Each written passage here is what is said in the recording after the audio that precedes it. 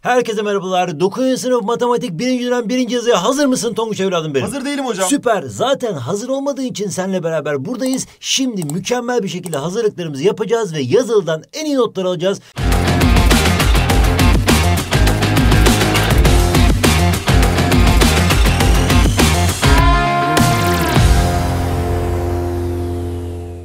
Süper bir yazılı provası hazırladım senin için. Gerçekten içinde çok güzel, gerçekten senelerdir öğretmenler aynı soruları soruyor aslında. Ve bu soruları gerçekten biz değiştirip acaba nasıl sorabiliriz ve sınava nasıl hazırlık yapabiliriz diyerekten yazılı provası hazırladık. Ve bu sorular gerçekten sınavda çıkabilecek ayarda. Peki bunları öğrenmeden önce de sana ufak bir özet yapmak istiyorum. Yani bilmemiz gerekenler. Mantıkla başladık biliyorsun. Sonra kümelerle devam ettik. Sonra denklem ve eşitsizlikler ünitesinin içerisine geldik ve sayı kümeleriyle başladık. Ve şimdi o ünite tabii çok büyük. Biz bir kısmını yapmıştırız mutlaka. Dolayısıyla senle işlediğimiz kısma kadar olan konuları çok hızlı, jet hızlı hiç merak etme. Arkana yaslan, çok iyi dinle ve çok jet hızlı bir tekrar yapacağız. Ardından da hemen senin için hazırladığımız yazı provalarına geçeceğiz. Hemen başlayalım. Mantık konusu 1 ve 0'dan oluşuyordu. Hatırlıyorsan P ve Q harflerini kullanıyorduk. P eşittir 1 ise doğru demekti. Q eşittir 0 ise yanlış demekti. P ve Q ve R ve S bu harfleri genellikle kullanıyorduk. Ve eğer doğru olan bir önermenin P önermesinin değerini yani tersini alacaksak biz aslında bunun üzerine bir tane çentik atıyorduk ve kaç oluyordu evladım benim? Sıfır oluyordu hocam. Tebrik ediyorum seni. Sıfır diyoruz. Yani doğruysa bir, yanlışsa sıfır.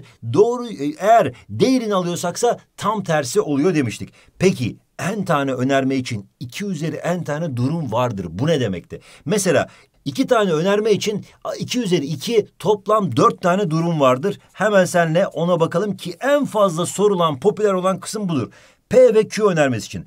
Birincisi doğru, ikincisi doğru. Birincisi doğru, ikincisi yanlış. Birincisi yanlış, ikincisi doğru. İkincisi de ikisi de yanlış şeklinde dört farklı durum vardı. Bu dört farklı durumun sonuçlarını biz bulmaya çalışacaktık ve birleşik önermelerde neyi bilmemiz gerekiyordu? Bir veya işlemini bilmemiz gerekiyordu. Bir de V işlemini bilmemiz gerekiyordu. Veya ve V işlemini veya'yı normal V harfiyle gösteriyorduk. Yani ters bir şey var orada. V'yi de böyle tepe taklak V harfiyle gösteriyorduk. Peki bunların sonuçları neydi? Unutmayalım, unutmayalım. Veya'yı gördüğümüz zaman toplama gibiydi. V'yi gördüğümüz zamansa çarpma gibiydi. Yani bir kere bir kaç evladım benim? Bir. Tebrik ediyorum seni. Bir kere sıfır. Sıfır. Süpersin. Peki sıfır kere bir yine sıfır. Sıfır kere sıfır yine sıfır. Demek ki sadece bir ve birde sonuç doğru oluyor yani bir oluyor demiştik. Peki toplamaya geçelim. Şimdi yani veya'ya geçelim.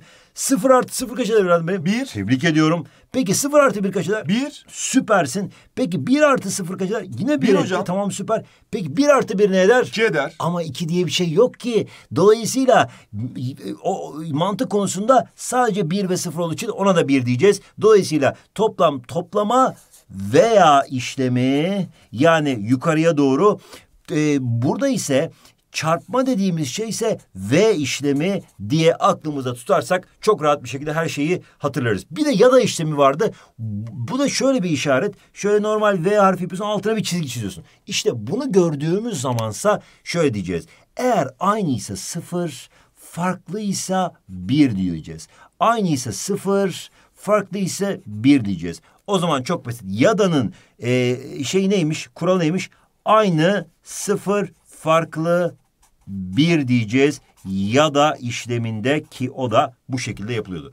Peki geldik özel kurallara. De Morgan kuralında ne vardı? Eğer bir parantezli bir şekilde değil varsa bu değil içeriye dağılıyordu ve bunların ikisini de değil yapıyordu ama İşaret veya ise V oluyor. V ise de veya'ya dönüşüyor. Yani veya ile V sanki birbirinin tersi gibi düşünebilirsin. Peki geldik burada veya P veya Q'yu ben Q veya P diye yazabilirim. Buna değişme özel diyoruz. Veya Q ve P'yi Q, e, P ve Q diye yazabilirim. Bu da değişme özel. Bunlar da çıkabilir sınavda ama özellikle birleşme özelliğinden soru sorulabilir ki parantezle Eğer bütün işlemler veya ise yer değiştirebiliyoruz parantezin yerini. Eğer bütün işlemler V ise parantezin yerini değiştirebiliyoruz. Gördüğün gibi diyoruz. Peki geldik dağılma özelliğine. İşte burası çok fazla soruluyor. O da şöyle veya'nın V üzerine dağılma özelliği. Bak burada veya var burada V var. Yani işlemler farklı birleşme özelliği gibi değil dikkat et. O zaman ne yapıyorduk? Bunu böyle dağıtıyorduk. P veya Q P veya R aralarına da parantezin içindeki işlem dışarıya geliyor. Dışarıdaki işlemse parantezlerin içerisine geliyor. Bu da önemli bir kural. Hatırlayalım. Bunun tam tersi de geçerli demiştik. Peki ise kuralı sınavlarda her zaman öğretmenlerimiz şunu sormayı çok seviyor. Buna biz yüz kuralı demiştik hatırlıyorsan.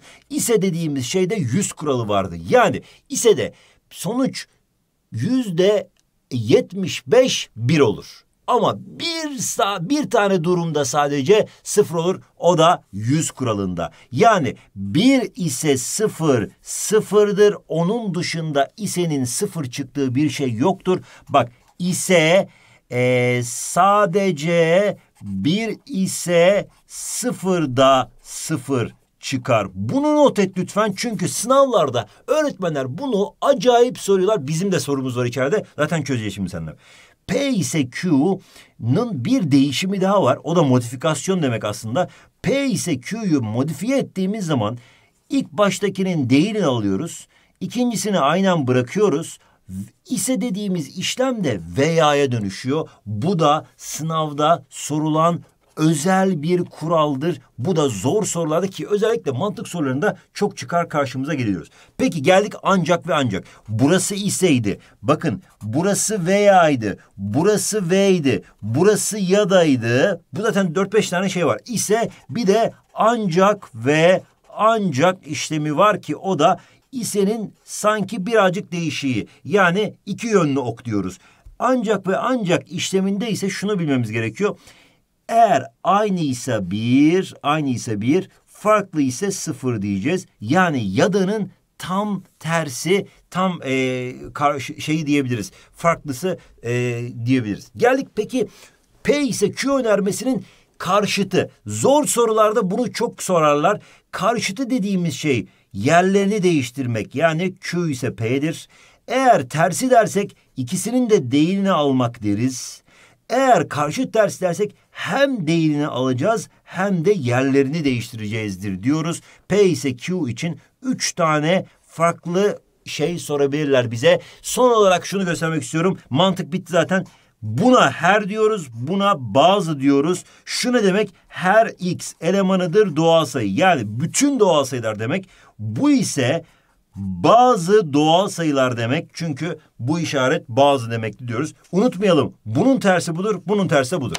Geldik kümelere. Kümelerde de bilmemiz gereken bazı şeyler var. Kümeler deyince aklına ne geliyor adım? Tavuklar geliyor hocam. Evet tebrik ediyorum seni. Senin için küme konsepti demek ki tavuklardan ibaret. Şimdi bak evladım aslında kümelerde şunu bilmemiz gerekiyor. Liste yöntemi ve şeması da bunları biliyorduk. Ama şöyle bir parantez açtığım zaman işte küme açılıyor. Elemanlarını tekrar tekrar yazalım. Bir, Arasına virgül koyuyorum elemanların. Sonra bir para... Aa ne bu ne ya? İşte burada çakozlamayacaksın. Bu parantez nerede kapanıyor? En sonunda burada kapanıyor. Bu parantezle bu parantez arasında virgüllerin arasında olan her şeye biz eleman deriz. Yani şunun hepsi başka bir elemandır. Yani burada virgül, buradaki virgül geçerli. Bu aradaki virgül geçerli değildir. Unutma. Parantez iki diye parantezin açıldığı zaman kapanması gerekiyor. Dolayısıyla bu bir bütündür. Bu bütünü sakın bozma. Sınavlarda bunu da sormayı sever öğretmenlerimiz. O zaman bunun kaç tane elemanı var? Bir, iki, üç tane elemanı var. Ve bunun elemanları bir elemanıdır. Doğru. E, dört elemanıdır. Şöyle bir şey yazabiliriz.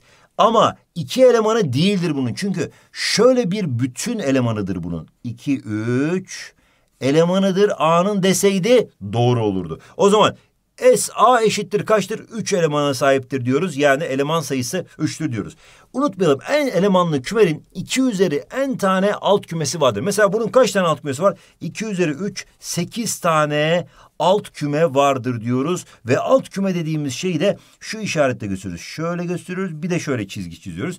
A alt kümesidir B'nin. Zaten gözüküyor ya. B kümesi koskocaman. A kümesi de bunun alt bir kümesi diyoruz. Veya boş küme her kümenin bir alt kümesidir. Unutma. O zaman B de her küme kendisinin de bir alt kümesidir. Dolayısıyla ben bunun alt kümelerini yazdığım zaman bir elemanlı olabilir. Bir veya dört olabilir mesela. İki elemanlı olabilir. Bir dört bir arada alt kümesi olabilir bunun. Yani sonuçta ben bunun içerisinde aldığım bütün mesela şu ikisi veya şu ikisi veya şunun üçü yani kendisi şeklinde kümeler oluş, oluşturabilir diyoruz. Peki unutmayalım A B'nin alt kümesi B A'nın alt kümesi diye bir şey söylediyse aman ha aman bu o zaman kümeler eşittir demektir kıl sorularda bu karşımıza gelebilir. Onu da hatırlatayım sana. Peki geldik esas problemlere. Kümelerde öğretmenlerimiz problem sormayı çok severler. Zaten karşıda yüzde 99.99 problem sorusu gelecek kümelerden. Yani kesin bir problem sorusu sorarlar. Ve şunu hatırlayalım. Eğer A ve B kümesi genellikle sorulur bu arada. A kümesinin sınırları bak şu turuncu. Tamam mı evladım benim? Peki B kümesinin sınırları şu yeşil diyelim. Yani B kümesi de bu yeşilden oluşuyor diyelim. Eğer bana A, A kesişim B'yi soruyorsa yani bunu morla yaparsak şurasıdır. Bak burası A kesimi. İkisinin kesiştiği nokta burası. Eğer bize eğer bize farklı bir renkle yapalım seninle beraber mesela. Eğer bize B fark A'yı soruyorsa B fark A dediğimiz A'nın B'den farklı olan yeri pardon özür dilerim. B'nin A'dan farklı olan yeri. Yani B'nin A'dan farklı olan yeri burasıdır. Bakar mısın? B'nin A'dan farklı. A'yı çıkar at dışarıya at. Ve A, B'nin A'dan farklı olan yeri burasıdır. Peki A'nın B'den farklı olan yeri neresidir? Orası da o da burasıdır diyebiliriz. Yani sol taraf. A'nın B'den farklı olan yeri. Ortak yerleri de burasıdır. Peki bütün hepsi nedir desek işte o zaman pembe kalemi almamın zamanı geldi. Bütün hepsi yani buradan buradan buradan buradan buradan hepsidir. Ve bunları küme problemlerinde şöyle gösteriyoruz. Mesela buna x diyorum, buna y diyorum, buna z diyorum. O zaman A kesişim B y'dir. Eleman sayısı olarak. Hatta öğretmenlerimiz şöyle bir şey yazarlarsa bak A, B, 7, 6, 4 diyelim mesela. Bu şu demek aslında. A kesişim B'nin eleman sayısı demek. Peki şununla şunun farkı ne? Bunu herkes karıştırıyor. A, B Burada 7, 6, 4. Bu ne demek biliyor musun evladım benim? Bu aslında A'nın elemanları 7 ve 6 demek. B'nin elemanları 6 ve 4 demek. A kesişiminde de tek elemanlı demek. Ama eğer nokta koymazlarsa eleman sayısını veriyor demektir. Ki küme problemlerinde genellikle böyle sorulur bize. Dolayısıyla bu Y'dir. A fark B X'tir. B fark A Z'dir. A birleşim B de X artı Y artı Z'dir. Yani bu üçünün toplamıdır diyoruz. Zaten şöyle bir kuralımız daha var. Bu da küme problemlerinde çok çıkıyor. A birleşim B'nin eleman sayısı A'nın eleman sayısı. Artı B'nin eleman hadi yapalım. Bunun eleman, A'nın eleman sayısı X artı Y'dir. X artı Y. B'nin eleman sayısı Y artı Z'dir. Y artı Z. A kesişim B'nin eleman sayısı da Y'dir. Bununla bunu topla ve çıkar. Bunlar birbirini götürdü. X artı Y artı Z. Tam bizim bulduğumuz gibi oldu. Böyle sorular da gelebilir. Peki geldik hemen kartezyen çarpma. Çok basit bir şey aslında bu da. Aslında şöyle düşünüyorum. E, nasıl hayal edebiliriz bunu? Bir dans yarışması düzenleniyor diyelim. Ve burada erkekler var, burada kızlar var. Erkekler ve kızlar dans edecekler ve ne yapacaklar? Mesela Ayşe, Ayşe ile Beril var burada. Burada birinci e, erkekle ikinci erkek var diyelim. Ayşe ile birinci erkek dans edecek. Ayşe ile e, e, ikinci erkek dans edecek. Beril ile birinci erkek dans edecek. Beril ile ikinci erkek dans edecek. Yani bak Ayşe bir birinci erkek, Ayşe ikinci erkek, e, Beril birinci erkek, e, e, Beril, Beril ikinci erkek şeklinde bir aslında dans yarışmasına katılmışlar. Ve bu şekilde çiftler oluşturacağız. İşte bu çiftlerin her birisi kartezyen çarpımdaki sıralı ikilelerdir. Sıralı ikililer kaç tane olabilir dersek A çarpı B'nin elemanlarının teker teker yazdığımız zaman dört tane olur, olduğunu bulduk. Peki nasıl buluyoruz biliyor musun? A'nın eleman sayısı iki, B'nin eleman sayısı iki, iki çarpı iki, dörttür şeklinde bulabiliyoruz. B fark A, B çarpı A da aslında böyledir. Yani bunlarla bunlardan sayacak, bunlar başa gelecek o zaman diyoruz. A, kes, A çarpı B'nin ya A kartesine çarpı B'nin eleman sayısı A'nın eleman sayısı B'nin eleman sayısının çarpımı dedik ve geldik artık denklem ve eşitsizliklerde bilmemiz gerekenlere. İşte burada bilmemiz gereken sayı kümeleri vardı. Sayı kümelerinin hepsini kapsayan versiyonuna yani geniş kümeye biz reel sayılar diyoruz. Reel sayılar yani gerçek sayılar kümesi de diyebiliyoruz buna. Gerçek sayılar kümesi aslında bizim bildiğimiz tüm sayılardır diyebilir miyiz evladım benim? Evet, diyebiliriz. Tebrik ediyorum. O zaman tüm sayılara biz gerçek sayılar diyoruz. Peki o zaman geldik bunun iki parçaya ayrıldığını düşünelim. Bu yeşil parçamız, yeşil parçamız rasyonel sayılar diye adlandırıyoruz. Buna biz rasyonel sayılar diyoruz. Bir de şuradaki turuncu parçamıza da turuncu parçamıza da irrasyonel sayılar diyoruz. Bunlar kök 2, kök 3, pi gibi kökün dışına çıkamayan sayılar ve e, sonsuza doğru giden virgülleri asla tükenmeyen sayı virgülün sonu asla tükenmeyen sayılardır diyoruz. Ee, peki tabii virgülün sonu asla tükenmeyen derken aynı şekilde devam etmeyen yani e, devirli sayılar aslında rasyonel sayılardır. Ama irrasyonel sayılarda virgülün sonu gelmiyor ama hep farklı şekilde geliyor. Yani bitmiyor sonu. Peki geldik hemen rasyonel sayılarda. Eksi 1 bölü 2 rasyonel, 3 bölü 5 bir rasyonel sayı. E, 3,2 devirli bir rasyonel sayı. Devirli sayılar unutma rasyonel sayıların içerisine girer. Peki bir de bunların içerisinde şöyle pembiş bir kısım var. Çünkü aslında her tam sayı bir rasyonel sayıdır değil mi? Mesela üçün altında görünmez bir ne vardır evladım benim? Bir vardır hocam. Tebrik ediyorum. Gerçekten de görünmez bir bir olduğunu biliyoruz. Eksi üçün altında da var, ikinin altında da var. Dolayısıyla bunların her birisi paydalı paydalı şekilde yazabiliyor. Peki rasyonel sayıların içinde ne var biliyor musun? Rasyonel sayıların içerisinde de artık son şeye geldik. Pardon e, tam sayıların içerisinde de artık son şeye geldik. Doğal sayılar 0, 1, 2, 3, 4, 5 diye giden sayılar var diyoruz. O zaman en küçüğü bunların ne? Yani doğal sayılar alt kümesidir Z'nin, alt kümesidir rasyonel sayının, alt kümesidir R'nin diyoruz ve iki tane rasyonel ve irrasyonelin e, birleşimi de aslında gerçek sayıları oluşturuyor diyoruz. Peki hemen hatırlayalım. Tek tam sayı deyince 2n artı 1, çift tam sayı deyince aslında 2n aklımıza gelmesi gerekiyordu. Ve çift artı çift, mesela 2 artı 2 kaç eder evladım benim? 4 eder. Tebrik ediyorum. Yani çift sayı çıkıyor. Her zaman bu böyle çıkar. Veya 1 artı 1, 2 çıkar. Tek çift sayı çıkar. Yani Çift artı çift çifttir. Tek artı tek e, çifttir. Zaten bunu kafadan bir ile ikiyi deneyerekten bulabilirsin. Hiç merak etme. Bir de şöyle bir şey var. Çift çarpı çift nedir? İki kere iki. Dört. Yine çift çıktı bak. İki kere bir. iki. Yine çift çıktı bak. Bir kere bir, bir. Yine te, bak bu sefer tek çıktı. Dolayısıyla şunu hatırlayacağız. Eğer bunları hatırlayamıyorsak da deneyeceğiz. Nerede deneyeceğiz? Bir ve iki ile dene. Sıfır denemesen daha iyi olur. Çünkü sıfır yutanamıyor olduğu için burada bir karışıklık e, doğabilir diyoruz. Peki Geldik seninle beraber negatif sayılar ve pozitif sayılara. Hatırlayalım burası sıfırdı. Sağ tarafı pozitifti, e, sol tarafı negatifti. Sıfırın işareti de yoktu. Onu da hatırlayalım. Sonrasında bölme kuralları. İşte bölmede buna biz bölünen adını veriyorduk. Hatırlayalım. Bölünen. Ondan sonra buna bölen adını veriyorduk. Buna da bölüm adını veriyorduk. Ve bu sayı eşittir. Yani bu eşittir. Bununla bunun çarpımı artı buydu. Bu birinci altın kural üniversite sınavında da çok çıkmış bir altın kural. Bu sınavlarda çok sever öğretmenlerimiz. Bir de şöyle bir şey vardı. Bu sayı her zaman bundan büyük olacaktı. Yani bölen sayı kalandan mutlaka ve mutlaka büyük olacak. Bu da ikinci kural. Çok da sınavlarda en az e, kaç olabilir? En çok kaç olabilir sorularında çok sorulur diyoruz. Ve eğer kalan sıfırsa A, B'ye tam bölünür. Yani kalansız bölünür de hatırlayalım. Ve bölünebilme kurallarını hemen hatırlayalım. Eğer birler basamağı çiftse iki ile bölünür. Eğer rakamların toplamı üçün katıysa üçle bölünür. Eğer son iki basamağı dörde bölünürse dörtle bölünür. Eğer son basamağı sıfır ya da beşse beşle bölünür. Eğer son üç basamağı e, 8'in katıysa 8'e bölünür. Dikkat bir tane şey düşmek istiyorum buraya. Eğer son e, iki basamağı e, 0 sıfırsa e, yani birler ve onlar basamağı sıfır sıfırsa dörtle bölünür. Eğer son üç basamağı sıfır sıfır sıfırsa yani üç basamağı sıfır sıfır sıfırsa o da sekize bölünebilir. Eğer e, son basamağı sıfırsa onla bölünür. Hatta son basamağı sıfır değil de yedi ise mesela kalanı onla bölümünden yedi olur şeklinde kurallarımızı hatırlayalım.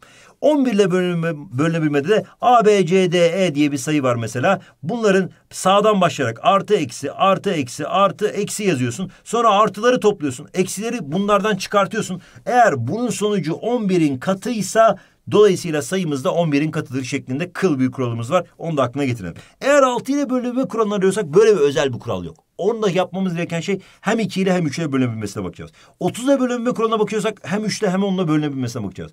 O 45 ile bölünme kuralına bakıyorsak hem 5 ile hem 9'a yani bunun asal çarpanları şeklindeki e, as, çarpanlarının asal olanlarına bakacağız veya bölünme kuralı olanlara bakacağız daha doğrusu. 5 ve 9'un bölünme kuralı var mesela diyoruz. O zaman sınavımız başlasın. Hadi bakalım çok güzel bir özet yaptık. Şimdi seninle beraber sınavımıza başlayalım. Başlayalım. Evladım böyle bir soru gelince ne yapacaksın sen? Kaçacağız hocam ya? Hayır evladım üzerine gideceğiz ve çözeceğiz. Çok gerçekten bir karışık gibi gözüküyor ama aslında ne kadar basit olduğunu görünce gerçekten çok şaşıracaksın. Aslında bak sana öğretmiştim bunu. P ise Q diye bir özellik var. P ise Q'da ise de tek bir yerde sonuç sıfırlıyordu. Bak ne olmuş? Bak bir şey vermiş bize. Bir şey vermiş. Sonra ise işareti koymuş. Sonra başka bir şey vermiş. Eşittir sıfır demiş. P ise Q'nun sıfır çıktığı tek bir yer vardı. O da yüz kuralıydı. Yani bir ise sıfır sıfırdı. İşte bu kuralı çok sorarlar demiştim ve hemen sorumuz geldi. Yani buradaki sayının, buradaki daha doğrusu e, ifadenin değerinin P ve R'nin değerinin bir olması gerekiyor. Q ve R'nin değerinin de sıfır olması gerekiyor ki bu bir. Bu da sıfır olursa bir ise sıfır sonuç sıfır çıkar diyebilir miyiz? Evet diyebiliriz. Tebrik ediyorum. Dolayısıyla bir ise sıfırın ne olduğunu bulduk. Peki hemen hatırlayalım. Ee, ve bir. Ondan sonra bir ve sıfır e, 0 ve 1. Hemen sana hatırlatıyorum merak etme. 0 ve 0. Bunların özellikleri neydi? V çarpma gibiydi. 0, 0, 0, 1. Yani bunun da 1 olduğu tek bir yer vardır. O da bu ikisinin de bir olduğu yerdir. E bulduk bile yahu. O zaman P'nin bir olduğunu, R'nin de R'nin de bir olduğunu rahatlıkla söyleyebilirim. Peki R birse bunun yerine bir koyabilir miyim evladım benim? Evet hocam. Tebrik ediyorum. O zaman yapmamız gereken şey şu. Q acaba nedir diye soracağız. E bunun sıfır çıktığını söylemiş bize. E bu birse eğer bunun sıfır çıkabilmesi için bunun da sıfır olması gerekiyor. Bak pamuk ipliği gibi çözüldü. Hepsi böyle inanılmaz bir şekilde çözüldü. O zaman Q'yu da biliyoruz artık. O da sıfırdır. E o zaman ne kaldı ki? Şimdi yerlerine koyma vakti. Hadi bakalım yerine koyalım. Eğer ben bunu arıyorsam, bunu arıyorsam hadi bakalım yerine koyalım. P parantezi açtım. Şu parantezi açtım. P kaç burada? Bir. Bir yazdım. Ancak ve ancak işaretini koydum. Q kaç burada? Sıfır. Parantezi kapattım. Veya yazıyorum. Sonra Q geliyor. Q zaten sıfır bulmuştuk. Ya da işlemini sokuyorum. R işlemi bir. O zaman bunun cevabını arıyoruz işte. Şimdi ancak ve ancaktaki kuralı hatırlayalım. Ancak ve ancakta farklıysa sıfır oluyordu. Aynıysa bir oluyordu. O zaman diyeceğim ki bunun sonucu yani şunun sonucu sıfırdır. Çünkü farklıydı. Ancak ve ancak hemen hatırlatayım sana. Ee, bir ancak ve ancak bir, bir ancak ve ancak sıfır, sıfır ancak ve ancak e, bir, sıfır ancak ve ancak sıfır. Yani dört tane olabilecek şey vardı. İki üzeri ikiden dört tane var zaten. Burada hatırlayalım. Bunun cevabı birdi, bunun cevabı birdi ama farklıysa sıfırdı. Farklı olduğu için sıfır dedik veya sonra bunu yapmaya çalışalım. Sıfır ya da bir. Ancak ve ancakla ya da tam tersti. Yani burada farklı olunca sıfır oluyordu. Burada farklı olunca bir oluyor. Dolayısıyla sıfır veya bir oldu cevabımız. Peki hop bunu da hatırladık. Peki sonrasında veya da neydi? Veya toplama işlemi gibiydi. V çarpma işlemi gibiydi. Veya toplama işlemi gibiydi. Sıfır artı bir kaç eder evladım benim? Bir eder hocam. Tebrik ediyorum. O yüzden doğruluk değerimiz birmiş ve doğruymuş demek ki bu önermemiz diyoruz. Önermesinin doğruluk değerini bulmuş olduk. Geldik önermesinin en sade halini bulalım demiş. Önermesinin en sade halini bulacaksak aslında birazcık değişiklikler yapmamız gerekiyor diyoruz. Nasıl değişiklikler yapalım? İlk başta hemen şuradaki ifademize baktığımız zaman burada ise işlemi var, ve işlemi var, veya işlemi var ve veya işlemi var diyebiliriz. Peki burada değiştirebileceğimiz ilk şey nedir acaba? İse işlemi. Hatırlıyorsanız P ise Q'nun aslında P'nin değili veya Q olduğunu lütfen bilin demiştim. Zor sorularda, kıl sorularda çıkar demiştim. Zaten kıl soru sormuştu zaten bizde. Şu ifadeyi bir modifiye edelim bakalım. P'nin değili veya Q diyorum. Bunu yapıştırdım. Sonrasında V işlemi geldi. P veya Q şeklinde bunu da yazdım. Şimdi burası artık bir şeye benzemeye başladı. Ne demek? Onu bir diğerlerini de yazalım da kafamız karışmasın böyle kalsın. Burada bunlar kalsın. Ama bak dikkat et. Şurası aslında birazcık e, dağılma özelliğini andırdı bana. Ne demek dağılma özelliği? Yani bak ikisinde de Q var. O zaman ikisinde de veya işlemi var. İki, ve bunlar sanki dağılmış da bunlar iki paranteze bölünmüş gibi aslında. Dolayısıyla ortak paranteze alıyorum bunu. Nasıl ortak paranteze alıyorum? Bunu P değili e, parantezin e, içindeki dışarıya dışındaki de içeriye giriyor. P bak şu anda olacak şimdi Q şeklinde yazıyorum. Yani bunları ortak parantez alıyorum.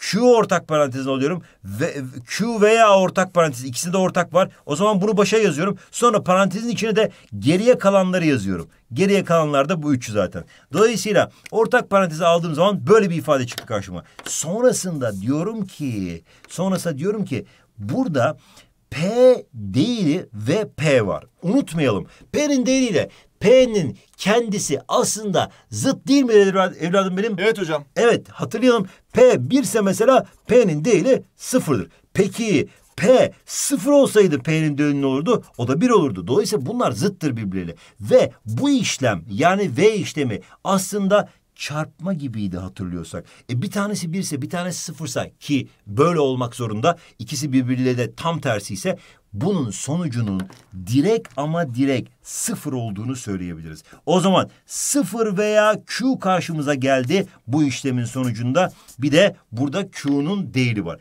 Şimdi sıfır veya Q nedir? Burası birazcık hani e, şöyle düşünmemiz gerekiyor. Acaba burada ne olabilir diye düşünürsek bu toplama gibiydi aslında veya işlemi. Peki bir şeyle sıfır toplarsak ne der evladım benim? Kendisi eder. Süpersin. Kendisi eder. Dolayısıyla bunun cevabı da aslında Q'dur. O zaman son durumda Q'nun kendisi veya Q'nun değeri çıktı. Hatırlıyorsan ne demiştik? Eğer bir şeyle değeri varsa bunlar birbirinin tersiydi ve bu da toplama işlemi gibiydi aslında. Yani bu birse bu sıfırdır, bu sıfırsa bu da birdir. Yüzde yüz böyle olmak zorunda, tersi olmak zorunda. Dolayısıyla Bunları topladığınız Bir artı sıfır kaç eder evladım benim? Bir eder. Sıfır artı bir kaç eder? Bir eder yine hocam. Süpersin. İşte o yüzden bunun cevabı her zaman ama her zaman birdir diyoruz. Yani doğrudur diyoruz. En sade halinde bulmuş olduk. Bir çıktı en sade hali.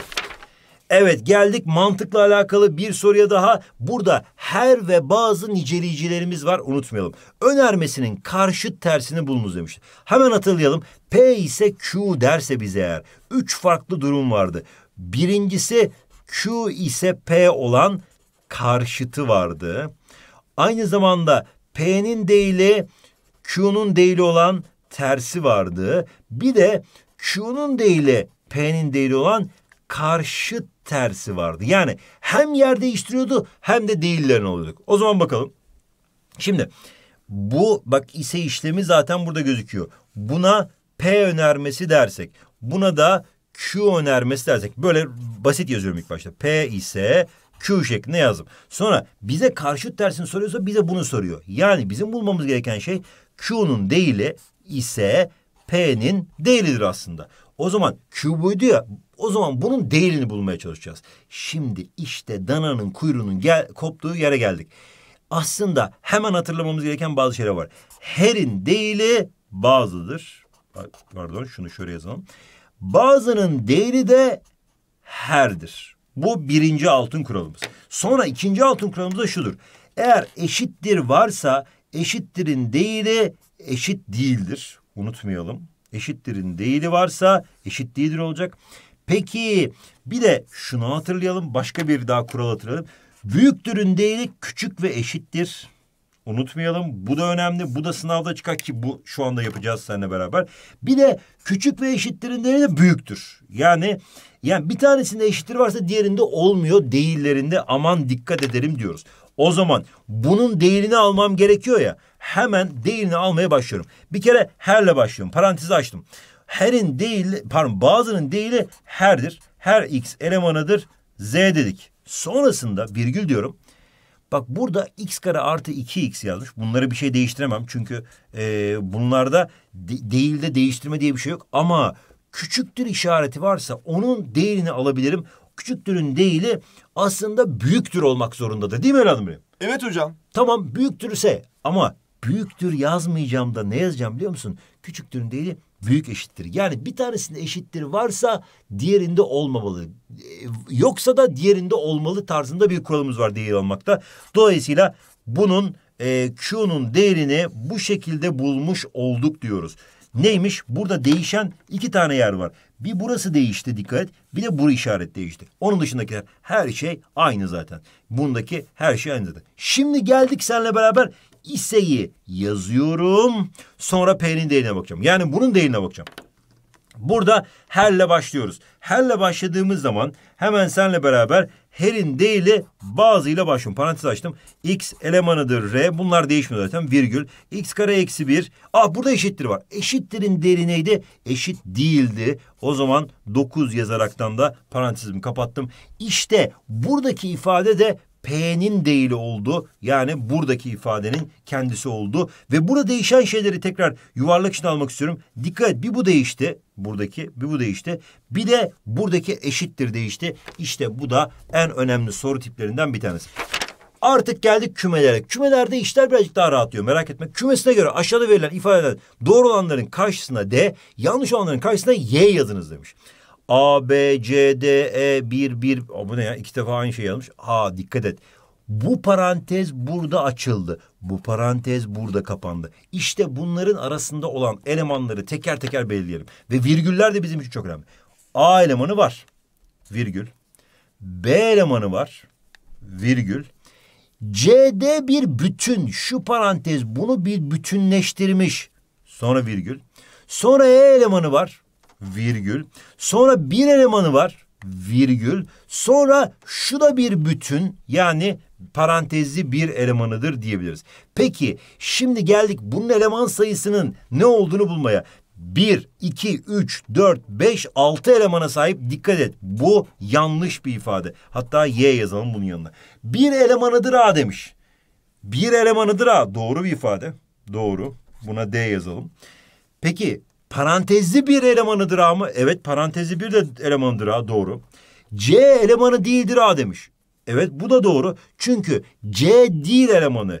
C D elemanıdır A demez deseydi doğru olurdu. Yani C D parantezli bir şekilde elemanıdır A. Bu doğru olurdu. Zaten bu da doğru. E, C elemanı değildir A. Peki geldik A B alt kümesidir A'nın demiş. Evet bu iki tane elemanı almışız ve bir alt küme yapmışız. Yani ben sana şunu göstereyim bak. Ben hep bu Venn şemasıyla daha rahat anlıyorum. Mesela A kümesi yazarsak bunun elemanlarını yazmak istiyorum. A elemanı var. B elemanı var. Sonra parantezli bir şekilde CD elemanı var. Sonra E elemanı var. Sonra bir elemanı var. Sonra parantezli bir şekilde bir elemanı var. İşte ben bu şekilde gösteriyorum bunu. Peki sonrasında diyorum ki eğer ben şu ikisini bir küme olarak düşünsem ve alt kümesi değil midir bu kümenin? Evet tabii ki Evet hocam. tebrik ediyorum. O zaman bu ifade de doğrudur. Çünkü bu alt kümesidir işaretiydi. Peki CD'yi alsam bunun bir alt kümesi midir? CD'yi alsam bunun bir alt kümesi midir? Elemanıdır. Dikkat et alt kümesi olabilmesi için bunun etrafına aynı A ile B'yi aldığımız zaman bir parantez koymuştuk ya. Onun gibi bir parantez daha eklemek gerekiyordu. Bu parantez olmadığından dolayı bu alt kümesidir. Yani bu parantez yok ya şu anda. Bu yanlış bir ifade. Ama şöyle olsaydı yani CD'yi bir eleman muamelesi yapıp onu bir kümenin içine koysaydık ve alt kümesidir A'nın deseydik doğru olurdu. Gerçekten önemli bir soru tarzı diyor. Geldik işte sınavlarda en fazla çıkan kısmına yani küme problemlerine. Küme problemlerinde bilmemiz gereken en önemli şeylerden bir tanesi kümeleri doğru düzgün çizebilmek. Burada dikkat ettiysek hangi kümeler var? A ve B kümeleri var. O zaman diyorum ki hop bunu A'yı çiziyorum. Hop bunu B'yi çiziyorum. A yazıyorum B yazıyorum. Genellikle yüzde 99 e, kesişim şeklinde çizilir eğer aksi bir şey verilmediyse. O zaman kesişim şeklinde çizdim. Sonra demiş ki A kesişim B 2'dir demiş. O zaman şuradaki eleman sayısı burasıdır aslında A kesişim B değil mi? A birleşim B ise 18'miş. Yani bunun hepsi bunun hepsi 18'miş. He. Bunu hemen yazdım. Sonra B kaçtır demiş. B'nin eleman sayısı kaçtır demiş. Burada başka bir şey daha vermiş. A'nın eleman sayısının iki katı, iki katı B fark A'ya eşit demiş. Şimdi B fark A neresiydi? Şimdi A'nın eleman sayısı bunun içindeki her şey. Evet. Bunun eleman sayısının iki katı B fark A. B fark A dediğimiz şey ne biliyorsun? Bak buradaki taktiği vermek istiyorum sana. Taktik dediğimiz şey aslında B fark A şurasıydı hatırlıyorsan. B'nin A'dan farklı olan yeri. E, A'nın eleman sayısının iki katı B fark A'ymış. O zaman A'nın eleman sayısına X dersek ki onu nereye yazacağım? Buraya mı yazacağım? Oraya yazacağım. Hayır işte burada patladın. İşte herkesin yanlış yaptığı noktada orası. Aslında A'nın eleman sayısını yazmam gereken benim yer neresi biliyor musun? Burası. A'nın eleman sayısına X diyeceğim. İşte burada her şey çözünüyor. Bu taktiğimiz burası aslında. Yani A'nın eleman sayısı verdiyse burayı içine yazmam. Bu, bunun yanına yazmam gerekiyor. Çünkü bunun içine yazamam. A'nın hem burada hem burada elemanı var. O yüzden A'nın x yeri yazarsam eğer A'nın eleman sayısına 2'nin x katı pardon x'in iki katı B fark A'ymış. Yani burası 2x elemana sahipmiş. Yani B fark A dediğimiz yeşil bölge 2x elemana sahipmiş diyoruz. Peki geldik o zaman B kümesinin eleman sayısının ne olduğunu soruyor bana. Peki burası x ise burası iki ise şuraya ne kalıyor diye baktığım zaman hemen karşıma çıkıyor musun? Bütün hepsi x'ti. Yani bunun hepsi x'ti. O zaman burası iki ise buraya x eksi 2 kalıyor diyebiliriz. İşte artık dananın kuyruğu koptu. Bu üçünün toplamı yani x eksi 2 artı 2 artı 2x eşittir 18 diyorum. Bu üçünün toplamının 18 olduğunu söylemiştik. Hatırlıyorsan şöyle bir şeyde A, B kümesinde A birleşim B bunun, bunun, bunun toplamıydı. Üçünün toplamıydı. X artı Y artı Z'ydi. İşte bunu yaptıktan sonra iş bitti. Bununla bu birbirini götürdü. 3x eşittir 18 oldu. Bir tane x'in 6 olduğunu bulduk. O zaman cevabımızın e, ne soruyor bize? B'nin eleman, eleman sayısı soruyor. B kaçtır acaba? Şimdi burası x eşittir 6 ise 12'dir. O zaman B'nin içerisindeki elemanlar yani şu mavi kutunun içindeki elemanlar 12 artı 2'den 14'tür diyebiliriz. Cevabımızın 14 olduğunu söyleyebiliriz. Geldik bir okuldaki piyano, satranç ve dans kulüplerine katılan 37 kişilik bir sınıfta en çok iki kulübe katılan 32 kişi. En az iki kulübe katılan 16 kişi var demiş. Bu sınıftaki üç kişi herhangi bir kulübe katılmadığına göre sadece iki kulübe katılan kaç öğrenci vardı demiş. Gerçekten bu tarz sorular sanki çok zormuş gibi geliyor insana ama çözümünü görünce şaşıracaksınız. Ama bu soruları genellikle öğretmenler sınavların sonlarına doğru koyarlar. Çünkü birazcık da e, hani öğrencilerin gözüne zor gözükür. Gerçekten hiç sayı verilmemiş. Nasıl yapacağım ben bunu? Şimdi piyano varmış, satranç varmış ve dans varmış.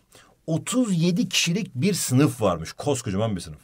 En çok iki kulübe katılan 30 kişi falan filan demiş. Şimdi ben diyorum ki bu tarz sorularda şöyle büyük bir sınıf şeması çizelim senle beraber. Buna sınıf kümesi diyelim ve 37 kişiyi buraya yazıyorum. Sonrasında piyano kümesi varmış. Piyano kümesini kırmızı ile çizelim. P kümesi diyelim. Sonrasında satranç kümesi varmış. Satrancı yeşille çizelim ee, ve S kümesi diyelim. Bir de dans kümesi varmış. Bunu da hop böyle çizelim. Dans diyelim. Tabii bunların hepsini farklı renkte çizmeyeceksin. Hani ben sana sadece gösterebilmek için yaptım. Peki İşte burası birazcık kıllaşmaya başladı. Bu sınıftaki üç kişi herhangi bir kulübe katılmadığına göre. O zaman üç kişi nerededir bu sınıfta? Dışarıda bir yerdedir değil mi? Bu üç kişi burada kalıyor. O zaman bunların içerisinde olan eleman sayısı 37'den 3'ü çıkarsak 34 tane insan var. Tamam. Şimdi buradaki sayılara, buradaki yerlere bir bölgelere bir harf vermemiz gerekiyor. Burası kritik. Mesela buna A diyorum, buna B diyorum, buna C diyorum, buna D diyorum, buna E diyorum, buna F diyorum, buna da G diyorum. Tamam mı? Bu harfleri verdikten sonra iş çözülecek. Hiç merak etme. Şimdi bak dikkat et. P A A elemanları aslında sadece piyano yapıyor. Ne satranç ne dans hiçbirisine bulaşmamış diyebilir, diyebilir miyiz? Diyebiliriz hocam. Süpersin. Peki C elemanları sadece satranç yapıyor. G elemanları sadece dans ediyor. O zaman tamam bunu aldık. Peki F elemanları ne yapıyor aslında? Hem satranç hem, hem dans yapıyor ama asla piyano yapmıyor. O zaman F elemanları satranç ve dans yapıyor. Mesela D elemanları piyano ve dans ediyor ama satranca bulaşmıyor. Tamam bundan aldık. E elemanları da hepsini yapıyor. Adamlar inanılmaz ee, şey aktifler. Tamam yapacak bir şey yok. Hemen bakalım. Şimdi demiş ki bize en çok iki kulübe katılan 32 kişi. Burayı çözümleyelim. Hadi bakalım. En çok iki kulübe katılan ne demek aslında? Bak en çok iki kulübe katılan demek aslında ya hiç kulübe katılmayacak artı ya sadece tek bir şey yapacak yani A artı C artı G ya da ya da iki kulübe katılacak ama üç kulübe katılmayacak dikkat et. B, D, F. B, D, F. Yani bak dikkat et. Ya hiç kulübe katılmayacak. En çok iki kulübe katılmak ne demek? Bak iki kulübe katılanlardan başlayalım istersen. B, D, F iki kulübe katılıyor. Bunlar iki kulübe katılanlar. A, C, G sadece bir kulübe katılanlar. E, C e, üçse hiç kulübe katılmayanlar. Hiç. Yani hiç kulübe katılmayanlar, bir kulübe katılanlar, iki kulübe katılanlar toplamda 32 kişiymiş. Bunu yazdık. Süper, süper, süper. Şimdi sonrasında diğerine geçelim seninle beraber. Hemen geldik. Diyorum ki e, en az iki kulübe katılan 16 kişi var demiş. En az iki kulübe katılan demek aslında şöyle düşün. İki kulübe katılacak veya üç kulübe katılacak en az iki kulübe dediğine göre iki kulübe katılanlar neydi? B, D, F'ydi. B artı D artı F'ydi. Bunlar iki kulübe katılıyor. Artı bir de üç kulübe katılanlar yani E vardı ve bunların toplamı da 16 kişiymiş. Ha. Uf ne hocam ne yaptın diyeceksin. Bir sürü A, B, C, D, G falan beynimiz sulandı. Aslında bunun çözümü basit. Sadece görselleştirebilmek için bunu böyle yaptık.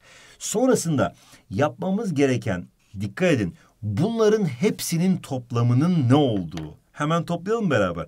Bunların hepsinin toplamı yani A artı B pardon A artı C artı G artı B artı D artı F artı E eşittir. Yani bunların hepsinin toplamı A, B, C, D, E, F, G, A, B, C, D, E, F, G e, artı bir tane de üç neydi? 37 idi. İşte buradan yararlanıyorum. O zaman şurası yani şurası 34 kişidir diyebilirim. Dikkat et. Bakar mısın? A, C, G, B, D, F. Yani burada zaten vardı bunlar yahu. Burasının hepsi 34 ise şu zaten 32'den 32'den 3'ü çıkardığın zaman bunun kaç olduğunu buluyorsun. 32'den 3'ü çıkardık. 29'muş aslında bu. O zaman burası 29 ise 29 29 e, şu dikdörtgen bu yuvarlak 34'müş. O zaman E'nin 5 olduğunu rahatlıkla söyleyebilirim diyoruz. Peki o zaman E dediğimiz şey 5 ise ne sormuştu bize? Ee, üç kişi herhangi kulübe sadece iki kulübe katılan sormuştu. Yani B, D, F'yi sormuştu. E dediğimizi beş bulmadık mı? Bulduk. E bunu bize soruyor zaten arkadaşımız. E dediğimiz beş ise 16'ya tamamlayabilmek için neyle toplamam gerekiyor? 11 ile toplamam gerekiyor. İşte sadece iki kulüp, sadece iki kulübe takılan e, e, takılan arkadaşlarımız 11 tanedir diyoruz. Yani BDF 11 tanedir diyoruz. Yorumlama işi aslında bu. Bu yorumlamayı yaptığımız zaman harflerle çok rahat bir şekilde izah edebiliyoruz. Geldik kartezyen çarpım sorusuna. A çarpı B'yi vermiş. B çarpı A'yı vermiş. Kartezyen çarpımında bilmemiz gereken şey eşleştirmeleri yapabilmek. De, ve ilk baştaki ilk elemanlarındır. Yani bak A kümesi kahverengi ise ilk elemanlar A'nın elemanlarıdır. Yani hemen A'nın elemanlarını söyleyebilirim ben sana. Buradan 2 var ve 3 var. A'nın elemanlarını bulduk. Peki e, bu da B'nin elemanları olsun. O zaman 1, 2, 3. 1, 2, 3 de B'nin elemanlarıdır. B'nin elemanları da buldum. 1, 2, 3. Hop bunu da yazdım. Sonra C çarpı A demiş bize. A'yı zaten biliyorduk. E, C'yi bulabiliriz. C'nin elemanlarını da kırmızıyla gösterelim. C'nin elemanları 1, 2, 3, 4'müş. O zaman C'nin elemanları da 1, 2, 3 ve 4'müş. Tamam. Olduğuna göre B çarpı C'nin grafiğinin noktalarını dışarıda bırakmayan en küçük dairenin çapı kaç birimdir? Oh gerçekten zor soruya benziyor. Ama hemen şöyle yapalım. Şimdi A, B, C'yi biliyoruz. O zaman B çarpı C'yi arıyoruz biz. B çarpı C'yi ararsak hemen bulalım seninle beraber B çarpı C'yi. B çarpı C'yi grafiği demiş ya. Hemen sayı doğrusuna gösterelim de daha rahat bir şey olur. Buraya B demem gerekiyor, buraya da C demem gerekiyor. B çarpı C'yi soruyor, soruyorsa bize. Çünkü sanki bu x ekseni, bu da y ekseni gibi olmak zorunda. Sonrasında B'nin elemanlarını buraya yerleştiriyorum. B'nin elemanları bir, iki ve üç diyorum. Tamam. C'nin elemanları da buraya yerleştiriyorum. Bir, iki, üç, dört. Bir, iki, üç ve dört diyorum. Sonrasında bunları birleştireceğim. Bir ile bir birleşti burası. İki ile bir birleşti burası. Üç ile bir birleşti burası. Yani e, B'nin her elemanıyla A'nın C'nin biri birleşti. B'nin her elemanıyla şimdi C'nin ikisi birleşsin. Hop buralar. B'nin her elemanıyla C'nin üçü birleşsin. C'nin üçü birleşti. B'nin her elemanıyla C'nin dördü birleşsin. Hop bunları da yaptık. Sonrasında diyor ki bize noktalarını dışarıda bırakmayan en küçük dairenin çapı kaç birim diyor. O zaman şöyle yapmam gerekiyor. Bir kere şuradan geçecek bir dairemiz var. Şöyle bir dairemiz olması gerekiyor. Şöyle bir dairemizin olması gerekiyor. Dairemizin çapı dediğimiz şeyin ise aslında şuradan geçmesi gerekiyor. Yani burada böyle bir dikdörtgen çıktı ya aslında. Bu dikdörtgenin köşegeni olması gerekiyor çapının. Burası birazcık kıl biliyorum. Bu köşegeni ama rahat bulunabiliyor. Çapı dediğimiz şeyi bulabilmek için dikkat edin. Şurası iki birim uzakta. Bir ile üç arası iki birim. Şurası ise bir ile dört arası üç birim uzaklıkta. İşte bu çapı bulmak istiyorum ya. Burada bir dik üçgen var. Ve bu dik üçgende Pisagor yapıyoruz. 2'nin karesi artı 3'ün karesi 4 artı 9'dan 13 ediyor. 13 dediğimiz şey ise bu çapın karesi demekti. O zaman çap dediğimiz şeyin de karekök 13 olduğunu söyleyebiliriz. En küçük dairenin çapı bu kadar diyoruz. Geldik artık hadi bakalım yeni ünitemize. X, Y, Z birer doğal sayı ise demiş. Olduğuna göre Z'nin alabileceği kaç farklı değer vardı demiş. Bakalım dikkat edin bak X, Y, Z birer doğal sayı. Yani ne dediğimiz sayılardan. Peki X artı Y olmuş. Tamam. Yani 3 e, 7 gibi, e, 8 2 gibi, 5 5 gibi, 1 e, 9 gibi, 0 10 gibi bunların hepsini yazabiliriz. Ve demiş ki z eşittir x bölü y eksi 2 demiş. Ve z'nin alabileceği kaç farklı değer var diye soruyor. Tamam bakalım.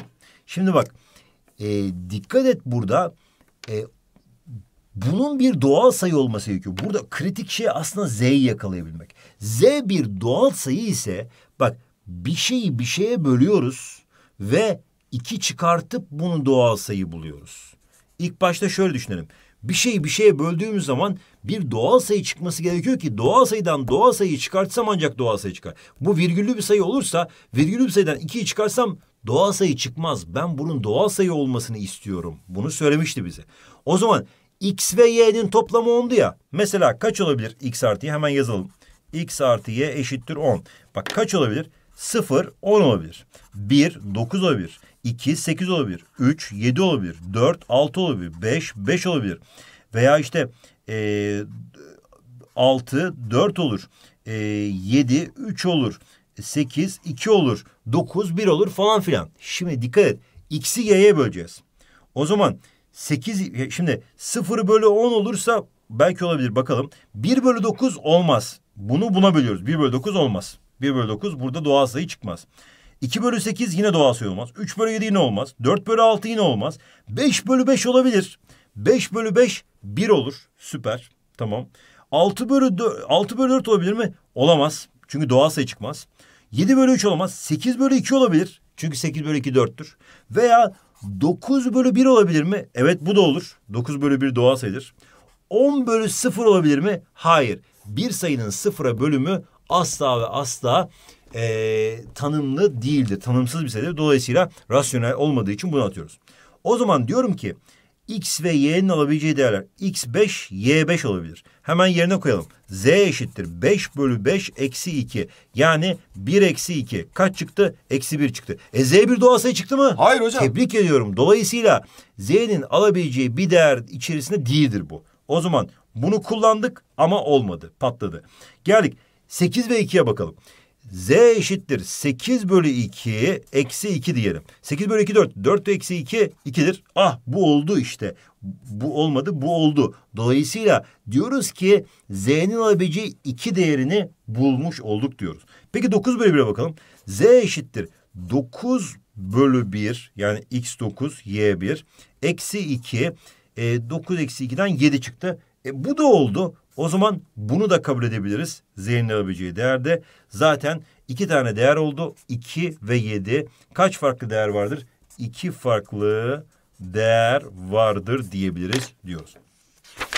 Geldik yanına verilen bölme işleminde A ve X birer doğal sayı olduğuna göre demiş. A'nın en büyük ve en küçük değerlerini bulalım demiş. Şimdi A'yı bu sayabiliyoruz bu çıkıyor ve sonuç bu kalıyor. Kalan bu çıkıyor. Burada iki tane kural vardı bölmede. Hatırlayalım. Dikkat edelim. E, bu sayı yani A sayısı bu çarpı bu 50 çarpı x artı budur. Yani kalandır diyoruz. Bu birinci kuralımızdı. İkinci kuralımız da şuydu. Bu sayı her zaman bundan büyüktür. 50 büyüktür x karedir. Hmm, bunu da yazdım.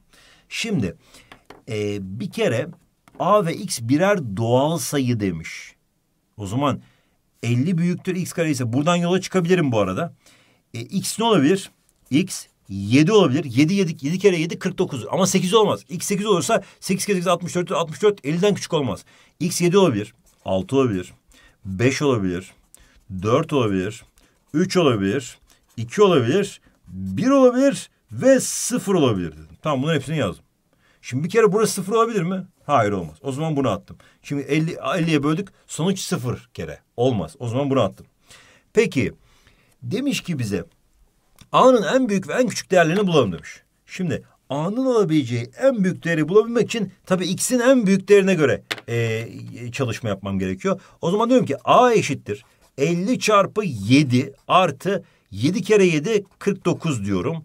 Ve 350 artı 49'dan 399 maksimum değeri diye yazıyorum. Peki diğerine bakalım. Diğerine bakalım.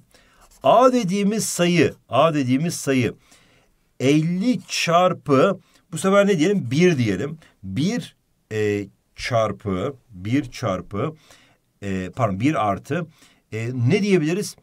1'in karesi yani yine 1. O zaman cevabımız 51'dir diyebiliriz. Cevabımızın da 51'de minimum değeri olduğunu söyleyebiliriz. Peki o zaman cevabımızın da e, bir birincisi e, şey e, 399 diğeri de 51 diyebilir miyiz evladım benim? Evet diyebiliriz. Dikkat et işte ben de patladım bak bugün artık soruyu çözerken tabii patlamışım. Dikkat edelim birer doğal sayı olduğuna göre e niye sıfır denemedik? Sıfır deneyelim bir de. Bak sıfır denersek ne olur? A eşittir A eşittir 50 çarpı sıfır artı sıfır. Yani kaç çıktı? A eşittir sıfır çıktı. A'nın minimum değeri sıfırdır. Çünkü sıfırı 50'ye bölersem Gerçekten sıfır kere elli sıfırdır, sıfır kalır. Yani bu şekilde bir doğal e, sayıda da e, aslında bunların doğal sayı olma kuralına uyuyor. Bu da doğal sayı, bu da doğal sayı, bu da doğal sayı. Problem yok. O zaman en büyük, en küçük değerleri bu minimum değeri değildir. Minimum değeri A eşittir sıfırdır. Maksimum değeri de 399'dur diyoruz. Geldik Tonguç telefonu için dört haneli bir şifre belirlemiştir. Tamam. Telefonu kullanmak isteyen Tankut şifreyi sorduğunda Tonguç aşağıdaki bilgileri vermiş demiş. Binler ve birler basamağı aynıdır demiş. Hmm, tamam. Yeni nesil bir soru bu arada. Yüzler basamağındaki rakam beştir demiş. Beş ile bölümünden kalan dörttü demiş. On iki ile tam bölünmüş. Bir sürü kural var. Öncüller bunlar aslında bizim için. Buna göre işlemleri doğru yapan Tankut en çok kaç denemede telefonun şifresini açabilir demiş. Şimdi eğer bize bu kadar şey verdiyse aslında e, kaç tane sayı olabilir diyor. Bakalım. E, şimdi bin, birazcık Tankut kafasını çalışacak tabii ki. Binler ve birler basamağı aynıdır. Ve dört haneli bir şifre demiş. Ha. Tamam. Dört haneli bir şifre. Bir, iki, üç, dört. Peki birler ve binler basamağı aynı demiş. O zaman buraya mesela A dersek burası da A olur. Tamam. Sonra demiş ki yüzler basamağı rakam beşti demiş. Birler onlar yüzler o zaman burası beşti demiş. Tamam. Beş ile bölümünden kalan dörttür demiş. Ha burası kritik. Şimdi e, beş ile bölümünden buna da B diyelim. Şimdi bilmiyoruz bunun ne olduğunu. Beş ile bölümünden kalan e, ne demekti aslında? Beş ile bölümün dediğimiz şey aslında son basamağı, son basamağı sıfır ya da sıfır ya da beş olacaktı. Eğer kalan dörtse son basamağı dört ya da dokuz olabilir. Çünkü dokuzun beşe bölümünden kalan dörttür. Dördün beşe bölümünden kalan dörttür. O zaman diyorum ki iki tane durum olabilir. Yani buradaki sayı ya dört olur ya dokuz olur. Peki şeyi hatırlayalım. 12 ile bölümünden kalan 12 ile tam bölür demiş. Özür dilerim. 12 ile bölünme kuralını hemen hatırlayalım. 12 ile bölünme kuralı hem 3 hem 4 ile bölünebilme demek aslında. Dikkat edelim. O zaman 3 ile bölünme değil de ama 4 ile bölünebilmesi için bunun son basamağı asla 9 olamaz. Çünkü son basamağı 9 olursa hiçbir zaman son iki basamağı 4'ün katı olamaz. Dolayısıyla 4 ile bölünebilmesi için son basamağının 4 olacağını söyleyebiliriz. E son basamağı 4 ise ilk basamağıyla aynıydı birler basamağıyla binler basamağı. Dolayısıyla artık çok yaklaştık. 4'müş sayımızın ilk basamağı. Son basamağı da 4'müş. Araya burası da 5 zaten. Araya bir şey koyacağız. Ve bunun da 4 ile bölünebilme kuralına uyması gerekiyor. Peki acaba kaç olabilir dört ile, dört ile bölünebilmesi için? Burası ve bu basamak dört ile bölünebilmesi için sıfır olabilir. E, iki olabilir. Dört olabilir. Yani sıfır dört dörtte bölünür. Yirmi dört dörtte bölünür. Kırk dört dörtte bölünür. E, ve kaç olabilir? Altı olabilir. Altmış dört dörtte bölünür. Ve sekiz olabilir. Seksen dört dörtte bölünebilir. He. O zaman sayımız, sayımız, sayılarımız daha doğrusu olabilecek şeyler şöyle olabilir e, şu hangi renkte yazalım? Şu renkte yazalım. E, 4504 olabilir. 4524 olabilir. 4544 olabilir. 4564 olabilir. 4584 olabilir. İşte bu noktada karşıma 3 ile bölünebilme çıkıyor. 3 ile bölünebilme dediğimiz şeyde de şuna dikkat edeceğiz rakamlarının toplamının üçün katı olması gerekiyordu. 4, 5, 9, 13 bunun rakamları toplamı. Kusura bakma sen gittin. E, 6, 11, 15, 15 bunun rakamları toplamı. Evet sen varsın aramıza katılıyorsun. E, 4, 5, 9, 4, 4, 8, 17. 17 kusura bakma sen üçün katı değilsin. E, 6, 4, 10, e, 9, 19 e, kusura bakma sen de üçün katı değilsin. 9, 12, 21 evet sen de üçün katısın. Dolayısıyla arkadaşımız ya şifresini 4524 yapmıştır ya da 4584 yapmıştır. Yani Tankut iki denemede bu şifreyi açabilir. Çünkü Tankut aklını çalıştırdı ve bu şekilde şifrelerin bunlar olabileceğini buldu. İki deneme yapıp da şifreyi açabilir diyoruz. Evet şimdi o zaman size hemen bir ödev verelim ve bu ödevle de çalışaraktan sınava muhteşem bir şekilde hazırlanmış olacaksınız. Şimdi mantık ünitesini bitirdik zaten. Yani sayfa 12'den başlıyoruz sıfırdan 9'a matematikte. Buradaki soruları lütfen çözün e, ve her bir e, konu ve soru konu ve soru şeklinde soruları bitirmediyseniz mutlaka çözün. Fen lisesi arkadaşlar buradaki fen lisesi sayfalarını mutlaka bitirsinler. Çünkü onların sınavları birazcık daha farklı olacak. Ve buradaki test geçleri yani sayfa 34'teki ve 35'teki test geçleri mutlaka çözelim. Ve mantıktan üç tane testimiz var. Ardından kümeler geliyor. Kümelerin içerisindeki 48 ve 49'daki tara geçleri çözelim.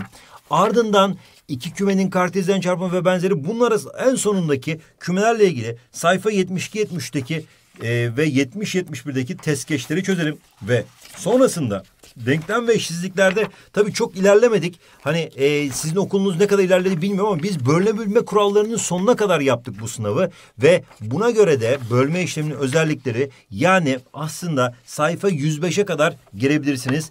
Sıfırdan 9'a matematikte. Ve tabii ki Dinamo Matematik Soru Bankası'nda yazılıya hazırlık kısımları var. Onları da göstermek istiyorum. Şimdi Dinamo Matematik'te tabii ki bunları zaten mutlaka yapmışsınızdır. Ama şimdi fen lisesi kısımlarını fen lisesi arkadaşlarımız çözsün. Yazılıya hazırlık kısımlarımız sayfa 44 ve 45'te sizin için bir yazılı hazırladık zaten. Sadece mantığa özel. Tabii mantık sorularının yanında bu sınavımızda kümeler de çıkacak. Dolayısıyla kümelerle ilgili ÖSYM tarzı soruları çözebilirsiniz buradaki. E, ünite tekrarlarını çözebilirsiniz buradaki. Ve en önemlisi tabii ki e, yazılı kısmı sayfa 79 ve 80'deki yazılı kısmını mutlaka bitirin diyoruz. Ve sonrasında sonrasında hemen neye geçiyoruz? Sayı kümelerinde. Sayı kümelerinde e, burada da hani yazılı kısmında kaçıncıya kadar yapacağınızı söyleyeceğim. Çünkü bütün e, çok geniş bir ünite aslında burası. Bu geniş ünitemizde, geniş ünitemizde hemen bakıyoruz. Sayfa 179 ve 180'de e, iki tane yerimiz var ama siz sadece e, buradaki yazılı kısmına e, sadece ilk iki soruyu çözebilirsiniz. Diğerlerini çözemezsiniz. Onun dışındakiler aslında diğer konuların oluyor. Çünkü çok geniş bir ünite burası. Hadi bakalım o zaman muhteşem bir şekilde sınavınızda başarılar. Ödüllü sorumuzu yapın, yorumlara yollayın. Görüşürüz hocam.